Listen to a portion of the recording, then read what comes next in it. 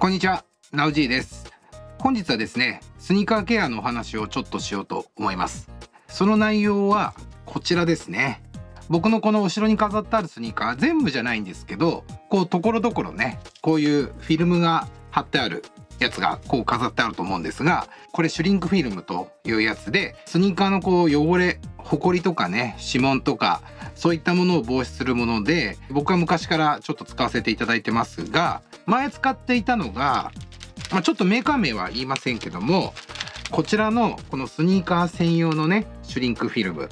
を使ってました。で、こちらが値段が、えっ、と、5足分で、まあ、約1000円ぐらい。1足200円ぐらいで、まあ、こういう風にフィルムが貼れるということで使ってましたが、1足200円って皆さんどう思いますか？え僕的にはですね、まあ、汚れ防止のためにはそのくらいはしょうがないかなと思って、まあこういうのをね、使ってきましたけども、実際問題やっぱりちょっと200円って高いよねっていうところがあると思います。で、えー以前からね、なんかいい方法ないかなってずっと探してたんですけども、こちら。ちょっとこれ中身をお見せしますが、ちょっともうあの何回か使ってるんでちょっとさ先っちょくしゃくしゃになってますけども、このシュリンクフィルムのこの束、これ Amazon で購入したんですけども、幅が30センチ幅で、このロールが100メーター巻かれてます。で、ちょっと使っちゃってるんで、もう結構減ってますけども、で、Amazon でだいたい2500円とかそのぐらいで購入できます。お金の話になってしまうんですが、こちらのシュリンクフィルムは5足で1000円ちょっとなんで、まあ1足200円。で、これ 100m を同じ何足分かに換算しますと、えっと、116足分ぐらい取れます。なので、1足あたり、まあ、20円ちょっとで施工できる。ということで、えー僕は最近こいつをちょっと導入して、まあ、この動画を撮る前にね、何回か試してみて、あ、使えるなという結論が出たので、今日ちょっと皆さんにご紹介したいと思います。だいたいこのフィルムと同じ長さで換算して計算したんですけども、だいたいですよ。ちょっと誤差はあるので、あの、ざっくりとお話しますけど、このフィルムがだいたい42、3センチあるんですね。このフィルムの長さと同じ寸法で換算すると、このね、ロールのシュリンクフィルムを使うと、一足ね、20円ちょっとでできるということで、まあ片方に換算すると10円ぐらいですかね。はい、こっちは片方100円ぐらいになります。だからまあ10分の1で施工できるということで、非常にお手軽にできると思うので、皆さんに今日ご紹介していきたいと思います。で、あと、それに合わせて、このシュリンクフィルムっていうのは、まあスニーカーをこう入れて、入れて、これをね、止めないといけないんですね。で、まあ、セロハンテープとかで止めてやる方法もあるんですけども、より綺麗に見せるためには、まあ、シーラーと言われるね、これを圧着させるものが必要です。で、以前使っていたもの、ちょっとそれお見せできないので、後で、えー、でかはご説明しますが、新しくですね、このシュリンクフィルムを圧着させる機械、これを購入しました。で、これはちょっと業務用で、まあ見た目がもうね、かなり業務感出てますけども、えーシーラーと言われるやつで、これ Amazon で8000円ぐらいだったかなで買いました。で、これ業務用なので、えーそこまでやらないっていう方はこんなね、業務用必要ないと思いますけども、まあ先ほどのね、これが1足20円でできちゃうっていう計算をすれば、後々ね、こういういいものを購入してもそこでね、あの、お金としてはペイできてしまうと思うので、まあ僕はね、これからここに飾ってあるスニーカー全部フィルムを貼ろうかなと思ってるので、せっかくなんでいいものを買いました。で、前は Amazon で1500円ぐらいのやつを持ってたんですね。あの、ハンディタイプのやつ。えーただ Amazon からちょっといつだったか忘れましたけども、発火する恐れがあるとかなんとかっていう、まあリコール対象みたいなもので、まあ使わないでくださいっていうメッセージが Amazon から来てしまったので、まあそちらはもう今捨ててしまって手元にないので、最近ですね、ちょっとこのフィルムを貼るっていうことができていなくて、でまあ今回ね、これを購入するのに合わせて、ちょっとこの業務用のマシンを購入しました。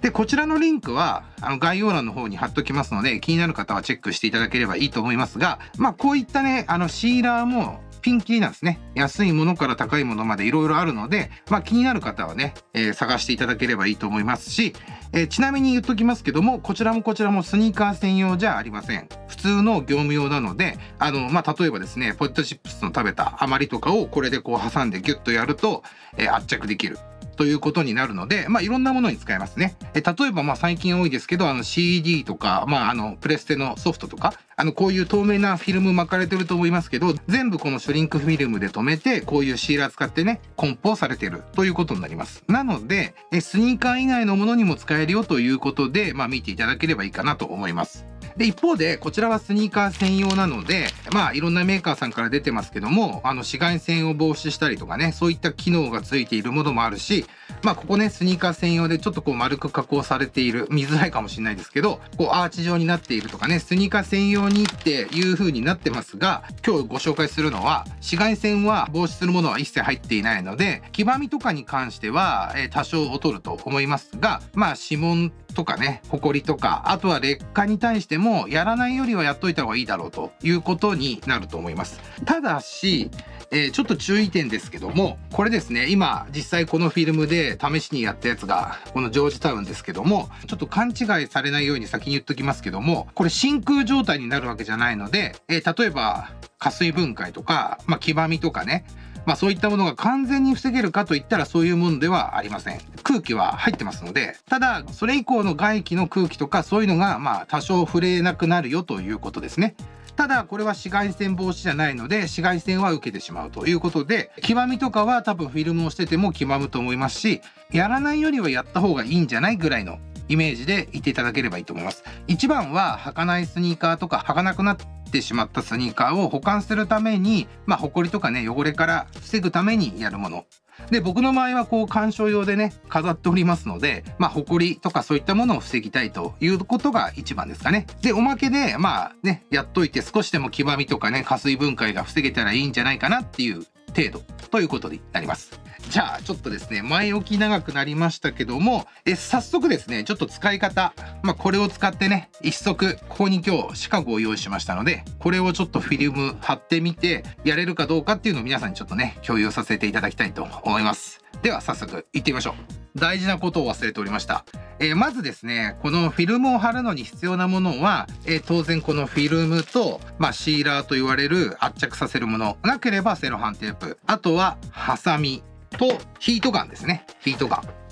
えない方はドライヤーでもいいですけども、より綺麗に仕上げるためには、このヒートガンはあった方がいいと思いますし、えこのヒートガンはね、Amazon で多分2000円とかそのぐらいで確か買えると思います。なので、まあ、ヒートガンのリンクもね、え僕がおすすめできるもの貼っときますので、合わせて見ていただければと思います。まずは、こういった形ですね。今回フィルムがこの巻いてあるタイプですので、どっかにコロコロ転がっていかないように、最初から来た箱に入れた状態でフィルムをこうね、伸ばせるようにします。はい。こうですね。まずこう引き出しましてえ普通にねスニーカーを入れます。大事なこと言い忘れましたけどこれこう一応袋タイプになってるんですね。こう袋タイプに2枚折りになっていて片方はこうね圧着されていなくてこっち側はね折ってあるので1枚ものをこうパカッと折ってます。なので、もともとは60センチものシュリンクフィルムを半分に折ってロールしているというものになるので、こう袋みたいになってこっちは開いてますけども、こっち側を圧着するということですね。えっ、ー、と、スニーカー入れるときはこう入れるか、こう入れるか、フィルムのね、この折り目の方にアウトソールが来るように入れていきます。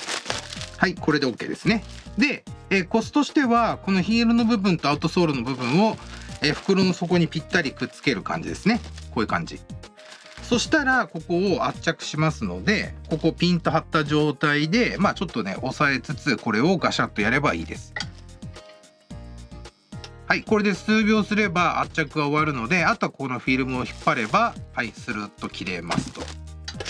そうしましたら今止めたのがこちら側ですね。で、あらかじめ前回止めたったのがこっち側、ヒール側ですので、えー、これで袋状になってます。上が今空いてる状態ですね。で、えー、この両サイドと底は、底はもともと折り目になってまして、えー、両サイドは止まってる状態ですので、今度はこの上を止めていきます。で、まあ僕の場合はですね、やりやすさを考慮して、ここで縦向きに変えます。えスニーカーのねアッパーのこのラインに沿ってこう止めるイメージですね。なのでここをこう斜めに止めて、え上を止めるというイメージですのでまずはここでこんなイメージでこっち側ねちょっと引っ張った状態でこれをガシャッと。はいでこれで OK ですのでえこれをこう引っ張ればね切れますと。はいこんな感じで止まりました、えー、もう一回止めます。はい。でここまでやれば準備は完了なんですがここで大事なポイントが一つあります。ここはまだ止めてない状態空いてます。えこれももし密封してしまうと完全に密封状態になるのでえこれに熱を加えて収縮させるんですけどもえ空気の逃げ道がなくなってしまうのでだいいこのスニーカー専用のフィルムっていうのはつま先のこの辺にですねちょっと穴が開いてるんですね。で収縮させるとそこから空気がこう逃げるような仕様になってるんですけどもこちらはね自作でやるので空気穴っていうのがどこにも開いていないので自分で作る必要があるんですけどもえ僕が何回か試した結果え空気穴をどこかに開けてしまうと熱を当てた時にそこが広がって破れてしまうんですね。なので僕が編み出した方法はこの吐き口の部分を止めずにここを空気穴として使います。で後でもう一回ここ塞ぎますけどもえとりあえずこれで一旦熱を当てます。なので入れた状態でこのアッパーのラインに沿って1回2回ぐらいちょっと止めましたけども今こんな状態ですね。多少こう余りがありますけどもこれは縮んでくれるのでこのまま熱をかけていきたいと思います。えこのヒールからまずいきます。ヒール、えこの側面、え見える側側面と見えない側内側の側面。でシューレース付近やってっていう感じでいきます、え最初のうちはちょっとここの空気穴ここ空気穴開いてる袋をちょっと持った状態で熱を軽く当てます。で熱すぎると、えフィルム溶けちゃうので気をつけてください。最初使う場合は冷めてますので、え手で熱いってなるぐらいやって、え熱がちゃんと熱くなったらやりましょう。いきますよ。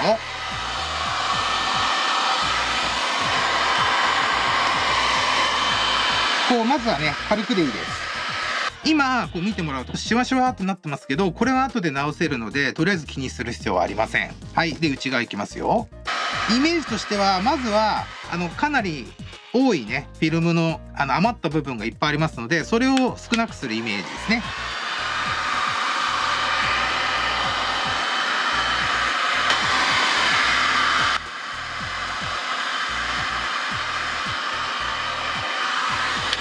はい。で、ここまで来たら、ちょっと綺麗にしていきます。で、綺麗にするときは、えっ、ー、と、僕のヒートガンの場合は、ハイとローがあるので、ローで、えー、ちょっとずつやっていきます。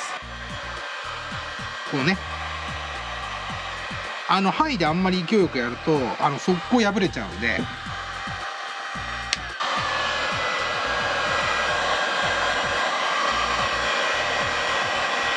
ほら、先ほどシワシワってなってたのが綺麗になってきたでしょ？あの、これはね、ローでちょっとずつやるのがコツ。はいこういうとこ見ててください。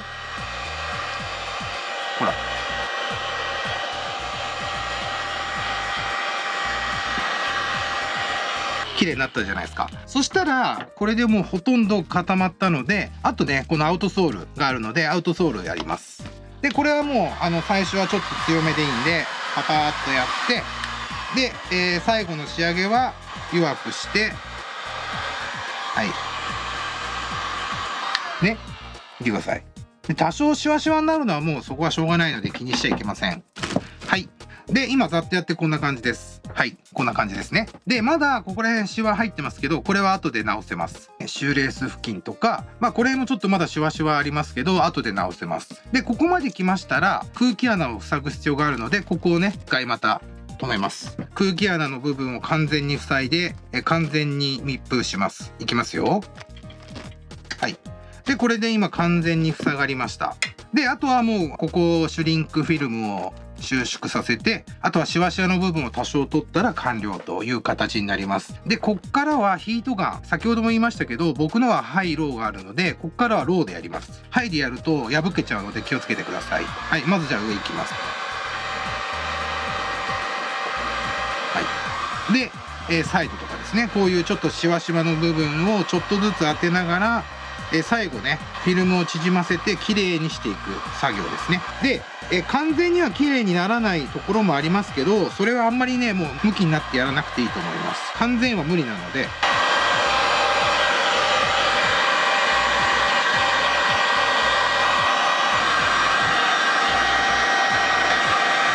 ああもうちょっとか。ちょっとこのウィングロゴのあたりがねもうちょっと。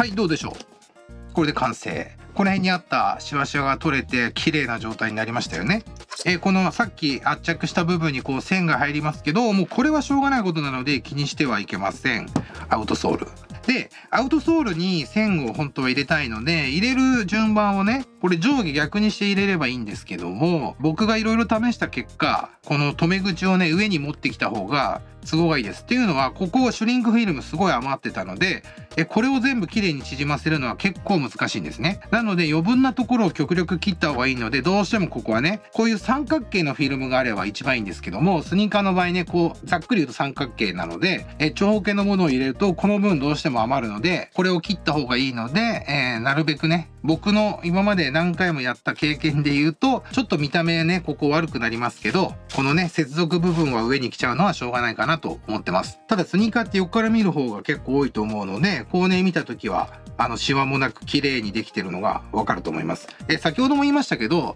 多少ね、こう入ってるとこあるんですよ、シワが。だけどそこはもうね、細かく気にしちゃいけません。で、あんまりこう熱当てすぎると速攻破けますので、まあ僕はこのくらいでいいかなと思ってます。これで今だいたい10円ですね。材料費が10円。今日ね、ご紹介しましたこのシーラーの分を割り戻して入れると、えもうちょっと上がると思いますが、まあ僕これ8000円とかまあ9000円弱で買ってますけど、まあシーラーというものは必要になるので、大体スニーカー専用のあのショップで売ってるのはまあ1000円とか2000円ぐらいだったかなと思うんですけど、まあそれに比べると結構高いですが、フィルムが安いので割り戻すとね、えこのぐらいの元は取れてしまうんじゃないかなと思います。まああのスニーカーの数が結構あってフィルムをいっぱい貼る方だったらこういうね業務用買っても損はしないかなと思いますしそんなにやらないよって方はこんないいものを買う必要ないと思うのであの Amazon とか見てねあのシーラーとかで検索すると出てきますのでえもうちょっと安いものピンキリですのでまあそこそこの値段のものを買う方がいいと思います。僕のおすすめはテープを貼って留めるというのはやめた方がいいです。あの、綺麗にならないので、見た目が悪くなります。僕も最初のうちはテープでやってましたけど、どうしてもね、見た目が悪くなるので、特にこのヒールの部分ですね。こういう一本の線でね、なってしまうのはしょうがないんですが、テープだとこのテープの跡がもうめちゃめちゃ残りますし、意外とね、空気を抜く作業が難しくなりますので、まあおすすめはね、安いシーラーでもいいと思うので、ぜひ購入してみてください。で、えー、仕上がりの方どうでしょう？すごくいいですよね。これ別にスニーカー専用ではないですが、まあ一般的なシュリンクフィルムってどれも同じだと思うんですよね。スニーカー専用って言われるものも、スニーカーが入れやすいような形にしたり、まあ空気穴を開けたりといったところですので、まあそれでね、ちょっとょっと100円とか200円って高いと思うので、まあ僕はこの20円とかで十分だと思うので、で、まあ20円っていうことはですよ、これ履こうと思ったらもうすぐ破いて履いて、帰ってきたら綺麗にして、またしばらく保管するんであればフィルムを貼るという作業をしてもね、200円だとなかなかね、これを今度取るのにも勇気いりますけど、20円とかでできるんであれば、まあ簡単に剥がして履いてっていうのを繰り返せると思うので、フィルムね、やってみたいけど難しそうだなとかね、高いなと思われてる方はぜひね、リンク貼っときますので、参考に見てやっていただければと思います。で、施工の方も簡単ではないです。実はですね、僕が今回買ったこのフィルムはですね、ちょっと薄いんですよ。でスニーカー専用の UV が入ってるやつは特に厚いんですね。厚いからじゃあやりやすいかっていうと一長一短でこの薄いフィルムも先ほど何回か言いましたがこれね熱を当てすぎるとすぐ穴開いちゃうんですよ。なので熱の当て方まあ、施工の仕方っていうのは最初のうちはちょっと破けると思います。僕もこれ実際えこの動画を撮る前に何回か試しましたけど、何回か破けました。で、熱の当て方なんかもちょっと考えて、あの、先ほど言ったように、ハイからローに変えてやるとか、っていうことをちょっと編み出しましたので、これはね、多分動画を見るより、まずはやってみた方がいいと思います。ただ、慣れればね、本当に簡単、まあ、数分でこういう状態にできますので、大事なスニーカーをね、綺麗に保管しておきたい方は、ぜひおすすめの方法ですので、えチャレンジしてみてください。で、あの、前ね、僕の動画でシュリンクフィルムの貼り方っていうライブ配信やったやつもありますし、またご要望があればね、ライブとかでもうちょっと細かく、動画だとどうしてもね、部分部分カットしちゃってるんで、えライブでね、一連の流れを全部見たいっていう方はご要望いただければ、またライブ配信とかで、え実際にこの機械を使って、え施工する様子なんかも